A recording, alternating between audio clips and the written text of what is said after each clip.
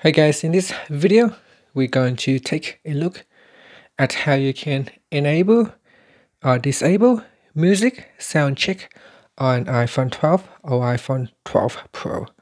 So the purpose of sound check is to equalize the volume of all downloaded music.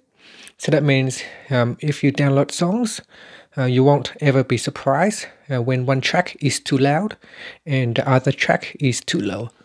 So first let's go back to your home screen by swiping up at the bottom of the screen. In here tap on settings and in settings you want to go down and tap on music.